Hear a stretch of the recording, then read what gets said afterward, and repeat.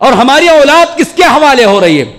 हमारी औलाद उस कौम के हवाले हो रही है, जो कौम बातिल है, जो कौम फिरका परस्त है, जो कौम जो है उम्मत और इस्लाम और मोहम्मद सल्लल्लाहु अलैहि वसल्लम की शरीयत के, शरीयत को जो है नाकिस, बताने की नाकाम कोशिशें करती है, ऐसी कौम के पास हमारी औलाद परवान चढ़ रही है। हमें फ़िक्र है?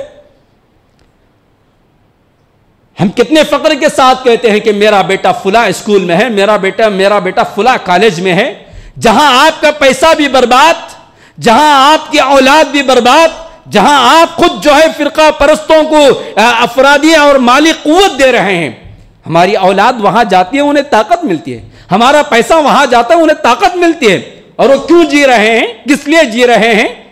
उनके जीने का मकसद हमारे सामने बिल्कुल आया है। वो क्या पढ़ा रहे हैं? हमारे सामने मौजूद है। क्या इस्लाम के बारे में शुकू को शुभात नहीं पैदा कर रहे हैं? क्या हमारी तारीख को उन्होंने कदम नहीं किया है? क्या हमारे नबी की शान में उन्होंने गुस्ताखियाँ करना नहीं सिखाया है? वहाँ से पढ़ने वाला नौजवान, वहाँ से पढ़ने वाली नौजवान लड़की का क्या इस वक्त हाल है, नहीं जानते हैं? उनका अकीदा, उनका ईमान, उनके अखलाक, उनका क्या, उनके कैरेक्टर उनके इबादत, उनके अमाल सब कुछ खत्म। तो क्या अभी भी हम जागने के लिए तैयार नहीं है? वो पैसा, वो कुत वो सलाहियत हमारे अपनी मस्जिदों में लगे इस महल्ले के अगर तीन चार मस्जिदें के मुसल्ले अगर मिल जाए तो हर स्कूल को एक हज़ार बच्चे मिल जाएँगे। हर स्कूल को पाँच सौ बच्चे मिल जाएँगे।